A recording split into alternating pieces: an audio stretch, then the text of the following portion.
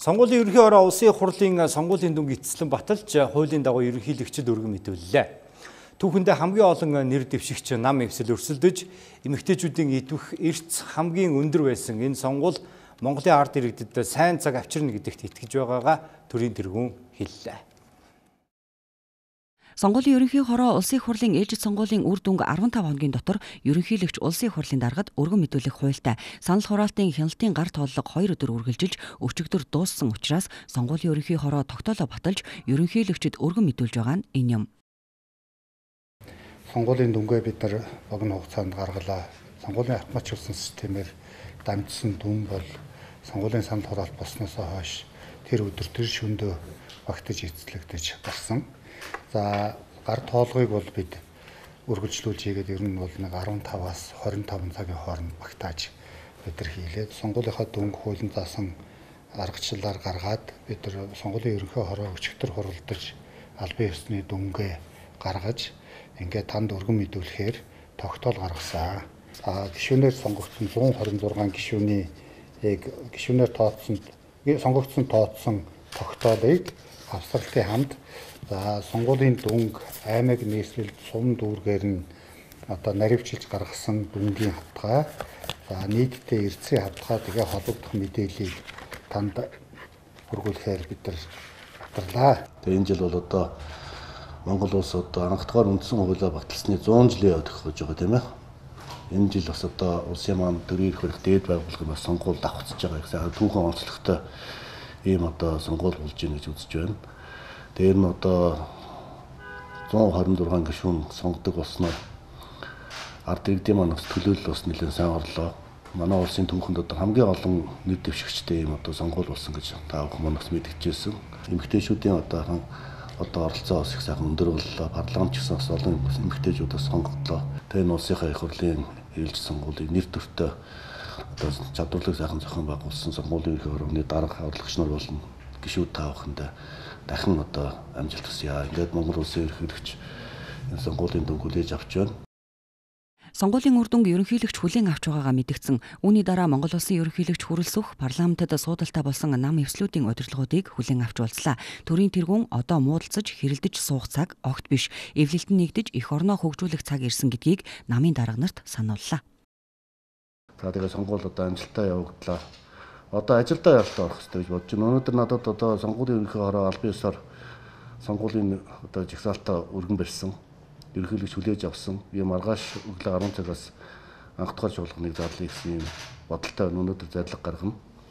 За тэгээ та бүхэн маань одоо яаралтай төр улсаа байгуулах хэрэгтэй, засгийн газраа яаралтай байгуулах хэрэгтэй. Одоо бидэнд муудалцаж хоорондоо маргалдаж суудаг цаг байхгүй. Одоо бол улсын төлөө ажиллах хэрэгтэй. Ерөнхийлөгч сонгуулийн үр дүнг хүлээн авч 30 хоногийн дотор парламентын анх дугаар чуулганыг зарлан товлох хуультай. Тэгвэл анх дугаар чуулганыг Монгол улсын ерөнхийлөгч маргааш өглөө 10 цагт хуралдуулахаар зарлиг гаргасан байна. Ерөнхийлөгчд сонгуулийн дүнг өргөн мэдүүлсний дараа улсын хурлд сонгогдсон 126 гишүүнд сонгуулийн ерөнхий ороо их хурлын гишүүний үнэмлэхийг нь гардууллаа. Энэ удаагийн парламентод дөрвөн нам нэг эвслээс гишүүд сонгогдож ирэх дөрвөн жил хууль батлах дээд байгууллагад ажиллах юм а. За тэд э, бүгд ард түмэнд сайн сайхан бүхнийг амлан гарч ирсэн. За амлалтаа биелүүлж хууль эрх зүйн э, нэн таатай орчин бүрдүүлэхийг эрхэм 126 гишүүнээс өдөр бүрөө шаардах үлдэж байна. Улсын хурлын 2024 оны ээлжид сонгуулиар Монгол Ардын нам 68, Арчилсан нам 42, Хүн нам 8, Үндэсний эвсэл 4, Иргэний зориг Ногоо нам 4 судал авч намын жагсаалтаар болон тойрогт сонгогдсон гишүүд өнөөдөр инхүү гишүүнийхээ өнөмлөхийг гардаж авсан юм. Шинэхэн гишүүд намын мөрийн хөтөлбөрийг хэрэгжүүлэхээс гадна бүс нутаг, тойрог, ард иргэдийн амьдралд тулгамдаад байгаа олон асуудлыг шийдвэрлэх өөр өөрсдийн төлөвлөгөөтэйгээр ажилдаа ороход бэлэн гэдгээ илэрхийлж байна. Ард түмнийхээ ихтгэлийг хүлээж бас одоо ярьж ирсэн хэрэгжүүлэх боломж олдсон. Тийм тэгээд яг юу ярьж ирсэн би нөө нэг их азтай манай сонгогчид надаар худлаа хэлүүлээгүй. Ярьж ирсэн бүгдийг хийхин төлөө зүтгэнэ хийнэ. Ер нь бол манай Монгол энэ ард түмэн бол арчлалдаа маш хайртай тийм. Учраас арчсан нам 42 судалтай судалтай боллоо. Тэгээ бидний өмнө бол хийх ажил маш их байна. Тэгээд Монгол улс маань одоо хөгжин дээшлэх ёстой. За энэ удаагийн сонгуулийн одоо бүрэлдэхүүн болоод маш одоо онцлогтой. 30% эмэгтэйчүүдийн квотыг хангасан байгаа. Тэгээ 32 эмэгтэй одоо анх удаа энэ 126 гишүүнтэй парламентт орж ирлээ.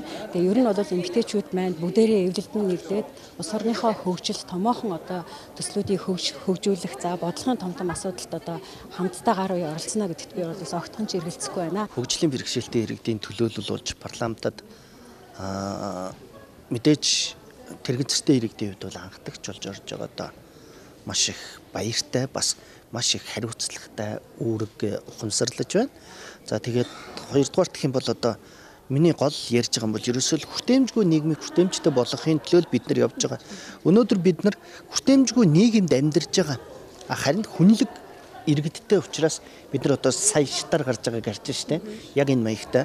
А тэгээд өнөөдөр бас яг үнэмлэх гардахтаа хүртэл би жоохон гонсгор байлаа. Ягаад гэвэл тайз руу гардахад хүртээмжийн асуудал байлаа тий.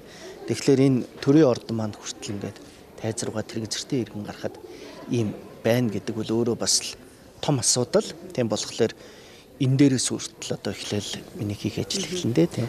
А сошиал дээр элдвэр хилэгдэх нь үү эсвэл илүү их магтуулах нь тэр сонин биш хамгийн гол нь энэ төлөөллийн ажлаа маш сайн хийх үүрэг хариуцлагаа ухамсарлаж хариуцлагатайгаар олон төмнийхээ тэр дундаа санал өгсөн иргэдийнхаа тийм ээ сонгогчдийнхаа итгэлийг дааж ажиллах чухал хариуцлагатай үүрэгтэл ирж байна. А тэгээд энэ ордон бол мөрөөдлийн ч юм уу ий чидийн ордон биш. А тэгээд энд маш сайн хичээж тийм ээ олонний итгэлийг тээж энд орж ирсэн. Энэ 70 эдэн мянган одоо санал бол бас манай эртний зориг ногоо намаар дамжуулж наарага хүүхэд эмэгтэйчүүдийн төлөөллийнхаа ажлыг илүү бодтой төрийн төвшөнд тийм ээ үнэхээр ард иргэдийн амьдралд бас бодтой харагдах байсан ийм зүйлийг хийн ахаа гэж найдаж өгсөн ийм саналуд байгаа. Тийм учраас миний хувьд энэ бүхнийг хариуцлагатайгаар дааж явах энэ одоо өөргөө ухамсарлаж байгаа. Тэгээд хичээх болно.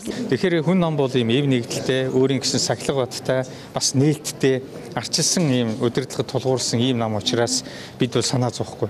А бид бол энэ бүлэг байгуулахаар ажиллана.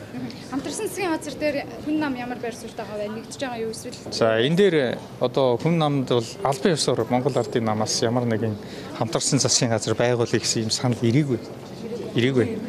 Хэрвээ ирсэн тохиолдолд бол энэ намынхаа гишүүдээс асуух хэрэгтэй. Өөрөөр хэлбэл эн чинь дэмжигч олон мянган хүн шүү дээ. Энэ хүмүүсээс асуу. Энэ дээр одоо сөрөг хүчнийхээ үүргийг гүйцэтгэхийн тулд яах ёстой вэ гэдэг ингэж шийднийг шаарч байгаа. За үндэсний эвсэл бол ямар ч үсэн сөрөг хүчнийхээ үүргийг 100% биелүүлнэ хамтарсан засагт орж ажиллахгүй. За нэгдүгээрт, хоёрдугаарт бид нар өөрсдийнхөө дэвшүүлсэн мөрөг төлбөрийнхаа хүрээнд өнөөдөр тулгамдаад байгаа нийгэмд тулгамдаад байгаа олон асуудал ялангуяа ядуурл ажилгүйдэл үнийн өсөлт за дээрэс нь үйлдвэрлэлтийг хэрхэн хөгжүүлэх вэ? Энэ уялдаагүй маш олон хууль тогтоомжуудыг зэгцлэх За дээрэс нь энэ иргэдэд бизнес эрхэлж байгаа аж ахуй нэгжүүдэд хүндрэл учруулж байгаа бүх энэ хууль эрх зүйн орчинтой бол тэмцэл зарлж маш шаардлагатай эдгээрийг зэгцлэхийн төлөө дуу хоолойгоо өргөх болно гэдгийг хэлэх байна. За энэ удаа бол бүрчилсэн хөгжлийн үзэл баримтлалын хүрээнд маш том тойрогоос бид нар бол сонгогдож одоо сонгогдож гарч ирсэн байгаа. Тэгэхээр төвийн бүсээ нэгдүгээр төлөөлж ийн гэсэн үг. А төвийн бүс маань энэ одоо дараачийн манай Монгол Ардын намын мөрийн хөтөлбөрт одоо хамгийн чухал чухал бүтээн байгуулалтууд хийгдэх ийм бүс байгаад байгаа. Одоо олон улсын логистикийн төвүүд бас энэ хоёр бүс гурван аймаг дээр хоёр одоо логистикийн төв байгуулагдсан. За хөшгийн хүндийг даагаад шин 100 мод хот болсон гэх мэтчлэн энэ том бүтээн байгуулалтууд явагдах учраас одоо энэтэй холбоотой хууль эрх зүйн орчныг бүрдүүлэх хөрөнгө оруулалтуудыг төвийн бүс рүүгээ татах. За мөн одоо энэ хөдөө аж ахуйн үйлдвэрлэл бол шинжлэх ухаанд суурилж явах ёстой. Тийм учраас энэ төвийн бүстэй шинжлэх ухааны одоо довтлохооныг эхлүүлнэ гэж би бодож байгаа. За Монгол Ардын намын мөр хөтөлбөр туссан төр бас хувийн хвшилтэд өрсөлдөхгүй байх энэ зарчмын өрөөнд түрүүн одоо өмнө хууль зүйн дотоод хэргийн аймд ажиллаж байхдаа өргөн барьсан төрийн бол орон нутгийн өмчийн тухай хууль зэргийн өмчийн эрх зүйн чиглэлийн хуулиудаа бас нэлээд одоо голчилж ажиллана гэсэн бодолтой байна. За хоёрдугаарт бизнесийн эрх зүйн салбарын нэг боч гаруй хуулийг би бас хууль зүйн дотоод хэргийн аймдахта боловсруулж үлдээсэн. Үүнийг одоо ажиллуулахын төлөө л одоо ямар ч гэсэн Улсын хурлын гишүүнийхээ одоо чиглэлийг хэрэгжүүлнэ л гэсэн одоо бодолтой байна тий. Улсын хурлын дэгийн тухай хуулинд өөрчлөлт оруулах хэсэг асуудлаар гişүүд ерөнхийдөө идэвхтэй бас байр суурь илэрхийлж байна. Таны хувьд энэ дээр ямар байр суурь? За яг би дэгийн хуулийг танилцсан. Тэгэхээр эргээд энэ чинь өөрөө бүлэг дээр бас ярина. Бас энэ чинь яг тодорхой бас тий улсын хурл өөрөө дэгээ тогтох хэрэгтэй байгаа. Энэ үрээндээ бас ярилцж байгаа шийдэх баг. За юуны өмнө зүүн бүсээ төлөөлж төрийн тишгээр сонгогдсонд баяр хүргэе. Таны аав бас одоо улсын хурлын гишүүнээс аавынхаа үйл хэргийг үргэлжлүүлэх бас зүүн бүс нутгийнхаа ард иргэдийн итгэлийг дах том үүрэг хариуцлага байна. Баярлалаа. Харин тийм маш том хариуцлага ногдлоо гэж ойлгож байгаа. Тийм. Мэдээж намын мөрийн хөтөлбөрөөс гадна одоо бүс нутагтаа чиглэсэн олон арга хэмжээнүүдийг авч хэрэгжүүлэхээр төлөвлөж байгаа. Тийм тийм. Мөрийн хөтөлбөрийг хэрэгжүүлэхийн төлөө ажиллана. Тэгээд зүүн бүсээс сонгогдсон бусад одоо гişүүдтэй одоо бүсийнхээ төлөө одоо хамтарч ажиллана гэж боддог. Энэхүү 126 гишүүнээс бүрдсэн шинэхэн парламент Монгол улсын ерөнхийлөгчийн зарилгаар маргааш анхны чуулганаа зохион байгуулах тов гараад байна. Гишүүд анх дугаар чуулганаар тангараа өргөн улсын хурлын дарга сонгоно. Энэ хуралдааныг хуулийн дагуу насаар хамгийн ахмад гишүүн буюу Монгол Ардын намын жагсаалтын 5 дугаарт бичигдсэн 73 настай иргэдэл өдөрт нь мөн анх дугаар чуулганы хамгийн гол хилцэх асуудал нь засгийн газраа эмхлэн байгуулах юм. Одоогоор ерөнхий сайд болон засгийн газрын бүтэц бүрэлдэхүүний талаарх яриа эхэлж сайд нарын таамагч хөвөрч эхэлжээ. Шинээр сонгогдсон гишүүд өнөмлөхөө гардаа авахтаа зэрэгцэн их хуралдаа суудлаа авч чадаагүй намын удирдлагууд үндсэн хуулийн цэцэд маргаан үүсгэж байгаагаа мэдгдлээ. За энэ намуудын зарим нь 70 мянга, зарим нь 40 мянган хүний санал авсан байхад за жагсаалтаар нэг ч суудал оногдоогүй нь сонгуулийн хуульд зөрчил байгаа гэж үзэхэд хүржээ. За тэд сонгуулийн хуулийн хит хитэн зүйл заалтыг иш болгон маргаан үүсгэж байгаагаа тайлбарллаа. За тухайлбал шинэ нэгдсэн эвсэл нийт сонгогчдын 479%-ийн саналыг авч эвслийн босхийг давхад ердөө 0.21%-ийн санал дутжээ. Энэ мэтчлэн босго даваагүй намуудын авсан нийт 207 мянган саналыг 5 намд тэнцүү хуваан өгч иргэдийн саналыг дээрэмдлээ гэж зарим улс төрийн намууд үзэж байгаа учраас үндсэн хуулийн цэцэд хандаж байгаагаа мэдгдсэн юм. Нийт сонгогч сонгуульд орсон сонгогчдоо 100% гэж үзэх юм бол 48 гишүүнийг хувь тэнцвэрийн сонгоно гэдэг нь дунджаар 100-га 48 тавахаар ойролцоогоор 2.1 хувьд нэг их хурлын гишүүний одоо мандат оногдно гэсэн үг. Тэгээ энэ жилийн сонгуульд энэ жилийн сонгуульдаас сая 450 мянган хүнээ жишээ нь ингээд саяны хэлдгээр 2.1 хувиар нь үржүүлд юм уу эсвэл 48 доо хуваахад 30 мянга гараад байгаа. Тэгээ энэ маань юу юм гэхээр нөгөө үндсэн хуулиндаа 2.1 хувийн босго тавьдсан тэрүүгээрээ 30 мянган хүн дотомд тухайн оролцсон улс төрийн хүчин нэг их хурл суудалтай болох гэсэн үг баггүй үндсэн хууль нь. А гэтэл сонгуулийн хуулиар эдгээр тэр үндсэн хуулинд байж байгаа 2.1 хувийн босгыг дөрөв нам байвал хоёр нам эсвэл 5%, гурван нам эсвэл 7 гэж хийм дээр босго ихсгэж өгсөн нь нэгдүгээр тэр босыг даваагүй гэдэг 207 мянган хүний саналыг сонгогчдыг бол шууд сандыг орхитуулж байна. Улсын их хурлын 48 гишүүнийг хувь тэнцвүүлэх төлөөлөх аргаар сонгоно. За хувь тэнцвүүлэн төлөөлөх арга гэдэг нь сонгуульд оролцохоор бүртгүүлсэн эвсэлийн авсан саналын тоо хувьд үндэслэн хууль заасны дагуу хуваарлж улсын их хурлын гишүүнээр сонгогдсонд тооцохыг ойлгоно гэж байна хуулийн дээр өөрөө ингэж байгаа. Тэгээд энэ тоолох гэдэг дээр нэг 74-ийн 2-2 тий 74-ийн 2-3 2-ын 4 гэсэн тий сонгуулийн хуулийн дээр ингээд үндсэн хуулиасаа давсан юм гаргаж ирээд бид бүгдээ одоо авсан нийтдээ 207 мянган хүний саналыг ингэж бутархай санал хэмээн үзэж босог давсан нам өөрсөндөө 41 40 мянгаыг нэмж хууль бусаар өөрсдөө гişүү нэмж оруулж ирж байгаа. Энэ бол одоо сонгогчдын саналыг дээрэмдэж байна. Үндсэн хуулийн цэцэд хандж байгаа гол шалтгаан бол үндсэн хуулийн дээр төлөөлийн зарчмаар одоо үндсэн хуулийн дээр бол заасан мөртлөө сонгуулийн хууль нь ингээд тэр 2 хувийга 4 хувь 5 хувь гээд ийм үндсэн хуулиа зөрчсөн ийм зүйлийг зориудаар бий болгож босго давсан гэдгээр бусад нам саналаа өгсөн хүмүүсийг дээрэмдэж авах тийм ноцтой сонгуулийн хуулийг баталсан учраас үндсэн хуулийн цэц өнөөдөр энэ хуулиа эргэж хараач ээ гэж гэдэг үгднээс одоо энэ цэцэд ингээд хандж байна. Тэд энэ үйлдэлээрээ цаашид үндсэн хуулиар олгогдсон сонгох сонгогдох эрх, сонгуулийн болон улс төрийн намуудын тухай хуульд заасан ойлгомжгүй байдлуудыг засч иргэдийн эрх ашгийг хамгаалахаас гадна бусад улс төрийн намуудад эрхтгш боломж олгохыг зорьсон гэлээ.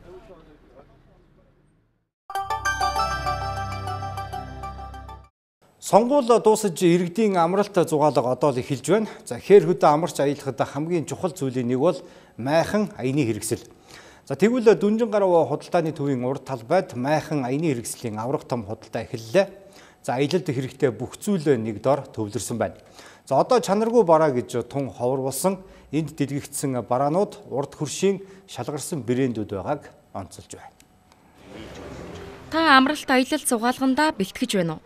Загварлаг хамгийн сайн чанартай, өргөн сонголттой, үн ханш боломжийн майхан сав сандал ширээ гудас мишок гэрэл гэрэлтүүлэг гээд аялахад хэрэгтэй юм бүхэн хаана байна гэж хайж байгаа бол Дүнжин гараг худалдааны төвийн гадна талбайг зориорой.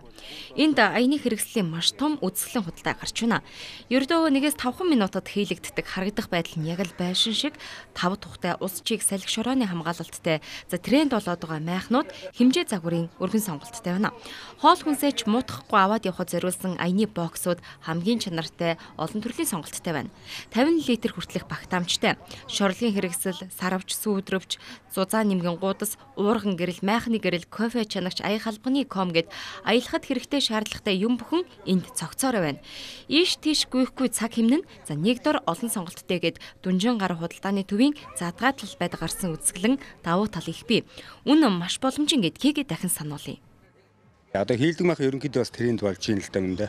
Одоо ер нь квадрат метрээс болоод үннүүд нь ерөнхийдөө 4 м квадратаас 22 м квадрат хүртэл тийм сонголттой байгаа. А тэгэл квадрат метрээс болоод үнний сонголт ер нь янз бүр байна да юм да. Тэг дотроо одоо 2 өрөөтэй, 1 өрөөтэй, тэгэл өндөр нам гэдэг өсө болоод үнний ханшнууд нас арай өөр өөр байгаа юм.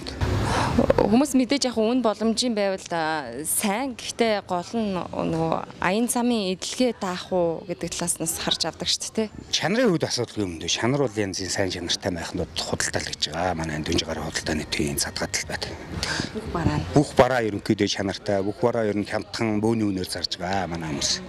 Задгаатал байд одоо үзэсгэлэн гарахын давуу тал юу вэ? Хүмүүс илүү тухтай үзэж байна ер нь их тухтай үзэж байгаа шүү дээ. Энэ Дүнжигаар худалдааны төвийн уралт ер нь юм задгаа талбай өмнө ер нь болж байгаагүй. Аялагчдаа зориулаад бэлгтэй худалдаа зарласан байгаа. Майхан худалдаа авах юм бол 4-өөс 6 нэр төрлийн барааны бэлгийг та бүхэндээ барьж байна. Зуны халуун өдрүүдэд хамгийн эрэлттэй бараануудын нэг бол ice box байна. А хүүхдүүд заримгаа хийхээр, а томчууд маань маха хямаа хийхээр худалдаа авж байна. Тэгээд олон хүнд бараа бүтээгдэхүүнээ хүртээхийн тулд манайх бөөний өрнөр зарж борлуулж байгаа.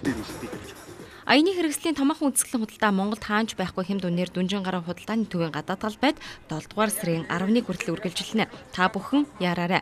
Аялын хэрэгслээ зэхэж байгаа бол ийшээ очоорой. Хэдхэн жилийн өмнө бие муутай хөдөлмөр эрхлэх боломжгүй байсан ган хараа хэмээх нэгэн өсгөг цаг хөтөлбөр онцоллоо. За бие хэрхэн хурдан тэнхрүүлэх вэ хэмээн олон жил судалгаа хийж уламжлалт ангаахын маш нарийн жороор нэгэн тос гарган авчээ. За гэтэл энэ тас гайхалтай үр дүн үзүүлж ган хараа бүсгүй хоёр хөл дээрээ боссон байна. За нурууны өвчин, мэдрэл, яс ургалт, хуин хөөрөлтийн эсрэг гээд гойд сайн үр дүн үзүүлсэн энэ тосоо ган хараа бүсгүй бусдад түгээхийг хүсжээ. Ганхараагийн гаргаж авсан нарийн нандин найрлагатай эдгээр бүтээгдэхүүнүүд бол эрүүл мэндэд за ялангуяа үе мөч архаг ядаргаанд гойд нэмэртэй гэдгээрээ олон танигдсан. Хэрэглээд үтсэн хүн бүр үр дүнгээ заавал хүртдэг. Багада 2 сарын дотор мэдэгдэхүйц үр дүн гардаг гэд тэрээр өөрийнхөө хийсэн бүтээгдэхүүнд нүүр бардан байдаг. Одоогоос 5 жилийн өмнө худалдаанд гаргасан энэ тосоо ганхараа анх өөртөө зориулж исэн. Угийн бийс бол тэрээр энэ тосныхаа ачаар ажил хөдөлмөр эрхлэх чадaltaй болж бусдад ч нэмэр тус болъё гэсэн үднээс жижигхэн үйлдвэртэй болж Aquila гэх брендийг үүсгэн байгуулжээ. Одоо дотоод гадаадгүй бүтээгдэхүүнээ нийлүүлж байна. Эдний бүтээгдэхүүн шат шатны лабораториор баталгаажсан. Үе мөч өвдгөөр хатгуулдаг бол нуруу өвдөж чинэрч бадаардаг бол хуин хөөрч булчин чангарадаг бол энэ тосыг нэг удаа хэрэглээд үзээрэй гэж ганхаараа зөвлөж байна бүтэн ойртоо хонуулдаг. За өвчин намдаа хэмнээс холдуулчихдаг. Одоо хамгийн сүүлд гэхэд чинь нэг 7 хоногийн өмнө хаа над руу ярьсан манай нэг хэрэглэгч аа тос чинь галчин мөмөртөө байгаа юу? Манай ээж одоо томноо тосыг 80 гарчихсан хүн гэж байгаа байхгүй юу? Хэрэглээд ингээд 5 6 жил болж байгаа. Тэгээд одоо өвчин амдагч юм хэрэглэхэ болцсон юм аа. Тэгээ одоо бүр хаяа тосоо ингээ мартчихж байгаа санаж төрөхдөг болчиход байгаа маа гэж хэлжсэн. За мөн одоо нөгөө нэг одоо бүр амар ингээд нүү дөрөвдүгээр шатанд орсон өвчин байгаа зү үеийн мөчний өвчин гэдэг чинь а тийм шатанд орсон өвчөнд бол яалтчгүй л дотор гаднаасаа давхар юм хэрэглэн өвдөгний хагалгаа, нуруу түүхний хагалгаанд орсон хүмүүс болон орхын өмнөх гэд ерөнхийдөө тийм хүмүүстэй нийлээ үр дүнтэй байгаад байгаа. Ерөнхийдөө хий ядаргааг айгуу сайн тайлаад амраагаа тэгээд үеийн мөч өвддөг хүмүүс тос хэрэглэхээр айгүй унтаад байна гэдэг байгаа байхгүй. Aquila брэнд олон төрлийн бүтээгдэхүүнтэй. Тосноос гадна ванны бөмбөлөг, хөл хамраах дүрлэг, хүүхдийн бөмбөлөг гэд дуртаатай бололоо. Ванны бөмбөлөг ихтэл биеийг маш сайн амраадаг байна өглөө ингээ босоод ирэнгүүтэл ингээл шүнжэнгөө ингээд барилгын ажил хийцсэн юм шиг амар ядардаг. Хөлмөнд тоглолцсон 7 лабораториор явж исэн. Ер нь бол манай анх хийсэн зүйл чинь тойрны төстэй ядаргаа тайлах бааны бөмбөлөг ахгүй юу. Тэгээ энэ дороод айгүйх ингээл унтчих та. Эний чинь бас яг нөгөө нэг орой болгон хөлн нөгөө нэг хөл гарандаа нөгөө тосоо түрхээсээ залхуурж байгаа энийг хийжсэн. А тэгээд энийг хийсний дараа нөгөө нэг айгүйх унтаж эхэлсэн. А тэгэнгүүт гоё биений тос хийчихье гэд а нөгөө ядраад байгаа юм чи ядрагаандаа сайн биений тос хийгээд тэгээд дандаа нөгөө нэг хяналтынхаа юмч тэгэл ингээл маш их ингээд судалгаал айгүйх хэрэг болд юм бэлээ Та эдгээр бүтээгдэхүүний талаар илүү дэлгэрэнгүй мэдээллийг 8011 тэг 7 36 96 тэг 3 тэг 6 96 дугаараас лавлаарай. Дэлхийн түүхийг ярих гэвэл Монголын түүхийг ярих ёстой гэж түүхчид судлаачид хэлдэг. За энэ үг ямар утга учиртай болохыг харуулсан олон улсын томоохон үдсгэлэн нээгдэх гэж байна. За дэлхийн өнцөг булан бүрээс их эзэн Чингис хаантай холбоотой ховор нандин олдврууд тал нутагт цуглах юм а. За үдсгэлэнгийн нэр нь Чингис хаан ба монголчууд дэлхийг өөрчилсөн нь. Энэ үзэсгэлэнд 1305 онд Ил хаан Үлзийд Францын хаан Го Филипп дэлгэсэн Монгол бичгийн загтал 800-ны дараа их хуваараа дэлгэгдэх юм. Энэ мэдчлэн Монголын эзэнт гүрэн Ил хаан тулс Юан улс Кедан улстай холбоотой хосгүй нандин дурсгалуудыг хадгалж байгаа Луврын музей, Францын үндэсний архив, Сербийн үндэсний керамикийн музей, Чимэглэлийн урлагийн музей, Швейцарын Ритберг музей зэрэг Европын томоохон 5 музей, архивын Алтан сантай хамтран Чингис хаан музейд олон зуун түүхийн хосгүй үзмрүүд дэлгэгдэх гэж байна. Ингэснээр Үүнээр монголчууд Европын орнуудад хадгалагдаж байгаа Монголын эзэнт гүрний ховор нандин дурсгалуудыг эх орондоо үзэж харах боломж бүрдэж байгаа юм. Мөн Илхан тулс, Юан улс, Кедан улс хүннүг үед хамаарах Монголын нутгаас олдоогүй их эзэн Чингис хааны байгуулсан их Монгол улсын харьяа бүх улсуудын дурсгал нэгэнд орж уулж байгаагаараа онцлогтой. Та бүхэн мэдж байгаа Илхантын дурсгал Монголд байхгүй. Тэгвэл энэ дурсгалууд одоо Францд хадгалагдж байгаа дурсгалууд ирсэн байна мөн одоо Юан улсын үеийн маш ховор дурсгалууд бас гүрэлцэж ирсэн байна. Одоо гайхамшигтай аа Юаны үеийн одоо вар тийм ээ шаазан эдлүүд а мөн одоо Ритбергийн музейд хадгалагдж байгаа хүннүүгийн үеийн түргийн үеийн бас ховор нандин дурсгалууд Юаны үеийн дурсгалууд бол бас ирсэн байгаа. Тэгээ энэ бол Монголын эзэнт гүрэн хүн төрлөختөнд урлагийн хувьд ямар одоо их нөлөө үзүүлж соёлын солилцоо бий болж худалдаа эдийн засгийн хувьд ямар нөлөө үзүүлсэнийг бол харж болох юм болцоотой байгаа. Тэгэхээр бидний энэ үзэсгэлэнд оруулж байгаа эд зүйлс маань болохоор за Улаанбаатар хотноо та бүхэн яг ил хаадын хэрэгжилжсэн тэр архитектурын чимэглэлийг бас харах боломжийг бүрдүүлж байгаа. За энэ ил хаад нь монголчууд энэ Иранд болон Иракийн тодорхой хэсгийг эзлэн авч тэнд хаанчилж исэн байгаа. Тэгэхээр бүр 1258 оноос бидэнд хурж ирсэн тийм эд зүйлийг та нарт энэхүү үзэсгэлэнгээр танилцуулах гэж байна. Тэгэхээр бид бас Швейцар хотноо Швейцар улсад монголчуудын талаар үзэсгэлэн эрх жил зохион байгуулахаар ажиллаж байгаа. За эрх жил зохион байгуулах байгаа энэ хүү үзэсгэлэн болохоор Монголын хотуудын тухай, хотчлтын үйл явцын тухай төлөвлөх юм. За энэ хүү үзэсгэлэнд бас орхны хүндийг бид онцгойлон харуулна гэж бодож байгаа. За яагаад вэ гэхээр монголчуудыг бол дэлхийд дахина одоо морин дил дээр л ингээл давхиад байдаг л улсууд шиг хардаг. А гэтэл монголчууд бол эртнээс ийм хот байгуулж бас хөгжиж ирсэн түүхтэй юм шүү гэдгийг бид нэр харуулах хүсэлтэй байгаамаа. Чингис хааны тухай олон улсын үзэсгэлэн өнгөрсөн жил Францын Нант хотод нээж 6 сарын хугацаанд 250 гаруй мянган хүн үзэж сонирхсан байдаг. Чингис хааны тухай өрөндийн ойлголтыг өөрчлөх, Монгол зочлох сонирхлыг татах, Монгол өв соёлыг сортирсан таниулахад онцгой үүрэг гүйцэтгэсэн энэ үзэсгэлэнгийн үргэлжлэл болгож Чингис хаан музейн хамт олон 2025 онд Чех, Швейцар, Герман, Канада, Америкийн нэгдсэн улс зэрэг улс орнуудад тусгай үзэсгэлэн гаргахаар төлөвлөд байна. Харин эх орондоо дэлгэгдэж байгаа Чингис хаан монголчууд дэлхийг өөрчилсөн үзэсгэлэн 7 дугаар сарын 3-ны өдрөөс 8 дугаар сарын 25-ны өдрийг хүртэл үзэгчдийн хүртэл болох юм.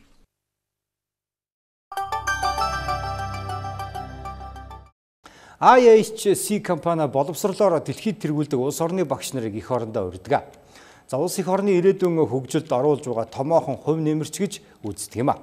За тэгвэл энэ компани ерөнхий боловсролын сургуулийн багш солилцооны энэ жилийн эхний хөтөлбөрөө амжилттай хэрэгжүүлж дууссан байна.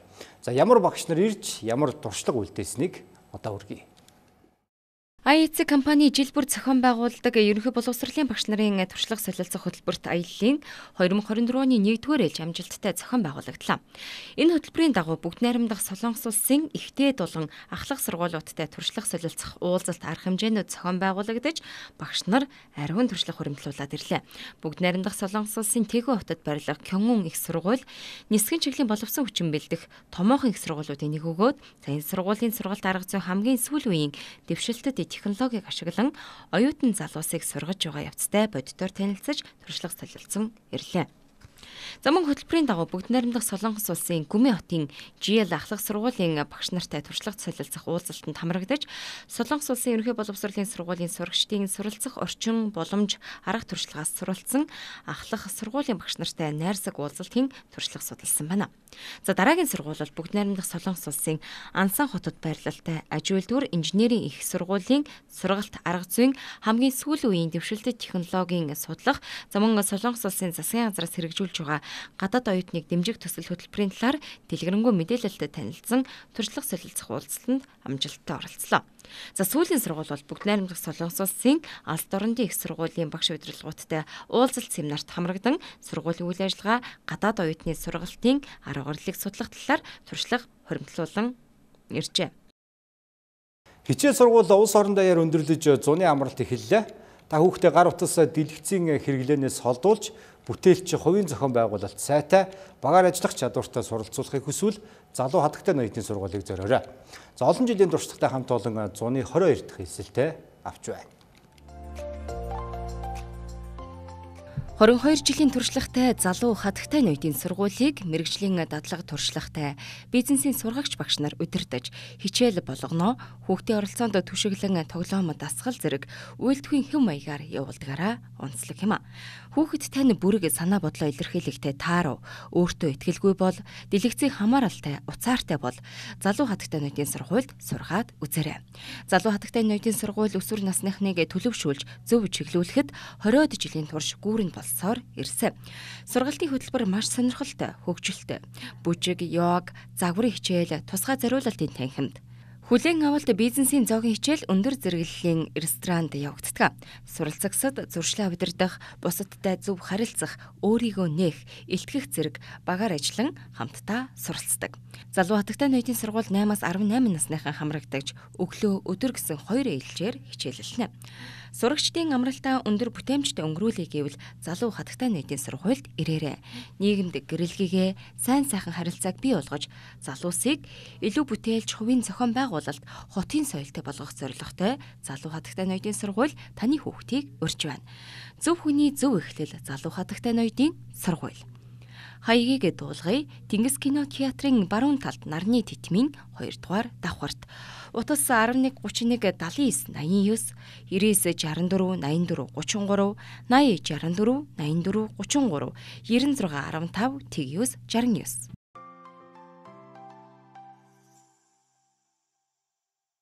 Үзэгч та бүхнийг зочинтой уулзуулъя. За нийслэлд үерийн даалан дотор ургасан ургамал зузаан хөрсийг хуулж эхэлсэн. За иргэдийн зүгээс мод таслалаа гэдэг шүүмжлэл дагуулж байгаа асуудлаар улсын зөвлөх инженер ган зөргөөс тодрууллаа.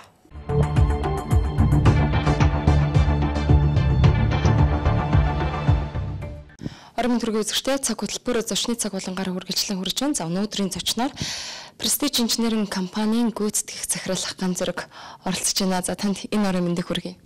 Романд. Та бол одоо мэрэгчлэр 30-аад бараг 40 орчим жил ажиллаж байгаа хүн. Тэгэхээр өнөөдөр хоёулаа үерийн талаар ярилцъя.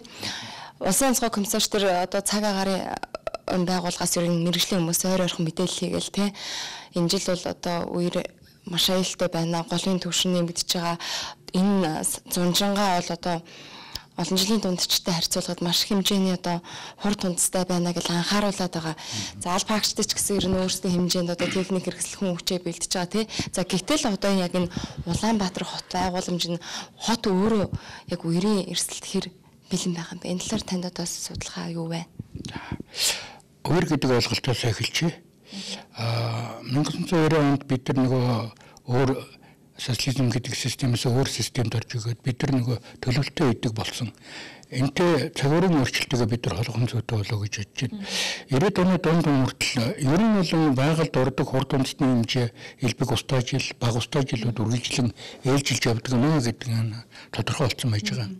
90 он хүртэл нөгөө элбэг устай жилүүд яваад 90 оны дунд үеэс хойшоогоо 2010-ад оны бараг 20 жил хурд хүнс багтай жилүүд үргэлжилээд а одоо сүүлийн жилүүд хурд хүнс элбэгтэй жилүүд явж байгаа учраас сая чиний жишээ болж ирсэн цагуурын байгууллагаас анхааруулад байгаа өөрөөсний аюул гэдэг маань давтамж нь илүү ойрхон тохиолдолд байж байгааг Улаанбаатар хоттой иргэд ер нь бүгд мэдэрч байна л да. Тэгэхээр нөгөө би нөгөө тасалдсан баг устай явж байсан 20 жил бид нар юу хийсэн бэ гэхээр нөгөө үер болдгоо юм шиг үер болдог газар дээр нь бид нар очиад нөгөө баашин бараал суурчаал хизээл энэ ер нь үргэлжлэгээл голын тал руу бүр шахаал голдрол руу шахаад барилга баашин бараал хашаа баашин бараал тэгээд өнөөдрийн хурдан зорж байгаа жилүүдэд болонгууд нь нөгөө хурд үндэсний хэмжээ ихсэнгууд нь голын урсалт нэмэгдэж байна. Энэ нэрэд нөгөө айлуудтай нөлөөлөд үерийн асуудал гэдэг маань онцгой анхаарах нөхцөл байдалтай болцсон. Бэлэн биш байна гэдэг хүлийн зөвшөөрөхөөс өөр аргагүй байна л гэдэг ойлголт эхний ээлжийн төгмөр байна. Тэгэхээр одоо яг тулгамдж байгаа хийх хэвээр асуудал юу болоод байна? Тэгэхээр нэгэнт бид нар нөгөө шин сууршил одоо хэд дахин ус Улаанбаатар хотын сууршил гэдэг бүгдийнх нь нэлээд нүдэн дээр байж штэ. А гэтэл нөгөө ерийн хамгаалалт байгууламж байх ёстой газар нөгөө цуурчил болцсон учраас хамгийн өндөр нь тэр болоод байгаа байгаад байна л да. За ямар ч байсан 2040 он хүртэл бид нар 5.3 ихний төгрөг энэ хамгаалтанд хийж чадах юм бол Улаанбаатар хотын үерийн эрсдэлгүй болох юм а гэдэг энэ төлөвлөлт хийж өгсөн учраас ямар ч байсан өнөөдөр хотын Улаанбаатар хотын застаргын хамгийн газар болон Монгол улсын засгийн газар ямар ч төлөвлөлтөй болцсон. Улаанбаатар хотын ерөнхий төлөвлөгөө 5 удаа зохиосон байдаг юм байна. 50-ад оны дунд үед нэг зохиосон 63 онд шинжилээд гарч ирсэн. Энэ дээр ямар нэгэн үерийн хамгаалтыг ерөөсөө төлөвт хийгээгүй юм байна. Тэгэхээр бид нар өнөөдөр энэ байгаа хоолдрол дотор өөрөө чөлөөн дотор яаж үерийг өнгөрөх үү гэдэг талаас нь бид нар мэрэгжлийн тооцоолол хийж байна. Одоо ийм яг хийж байгаа ажлуудаа бас мэрэгжлийн хүмүүс тайлагнаад байна л та. Одоо энэ үертэй бэлтэн хуучны гар хизлийн одоо энэ даланг буулгаад оронд нь төмөр бетонын эзэлтэй одоо талан болгон дээрэс нь одоо энэ бургасыг зөөж гэн гэл мэдээлэл нөгөө иргэд ингэж болохгүй штэ инкер ч бүр улам хэцүүдэн штэ гэл ингээ ярьж байна. Талаар та мэрэгжлийн үнийг зөвлөгөө өгөөч.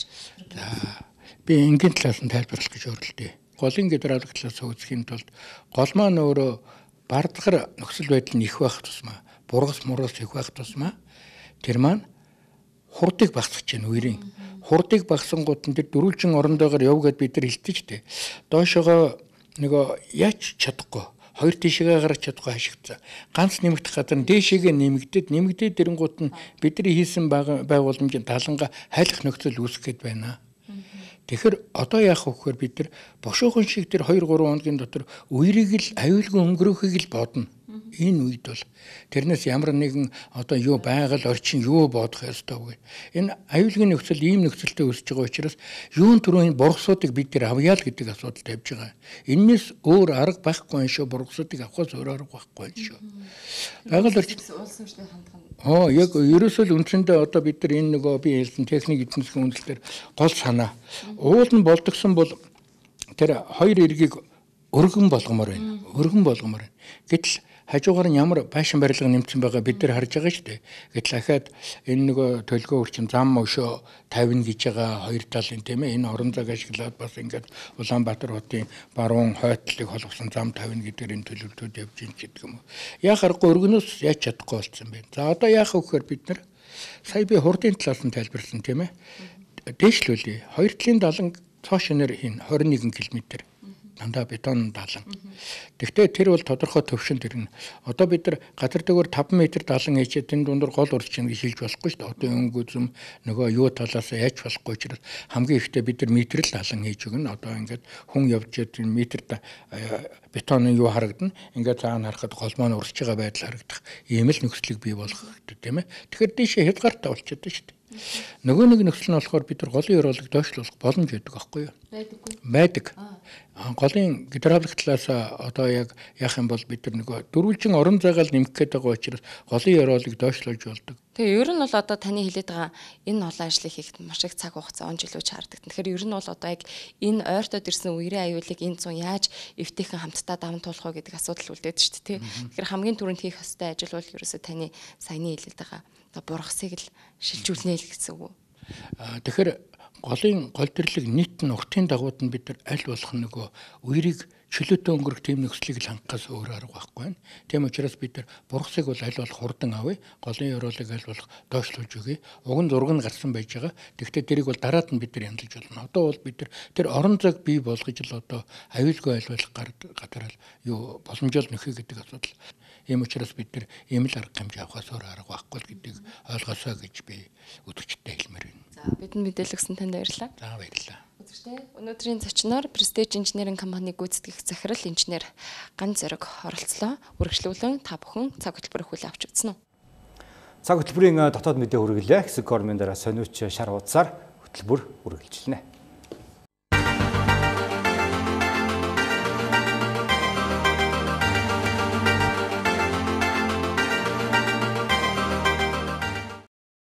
Цаг хөтөлбөрийн сониучаар хуудас сэргэж байна. Жилбэр болдог оддын бэсрэг наадам энэ жил тунж өргөн цар хүрээг хамрах төлөвтэй байгааг нь. Оддын бэсрэг наадам инээд хөөр хөгжилтэй үйл явдлаар дүүрэн өнгөрдөг. Тэгвэл өнгөрсөн жилийн оддын бэсрэг наадмын сонин хачнаас үзэгч тантай хуваалцъя. Аа Сумьябаатар Үнэнбат нар гарч ирсэн байна. За Үнэнбат бол одоо бас Арангаа аймгийн харьяат өөрөө их барилдах дуртай. Бас мэгтэй. За шилдээд Хамбургд бол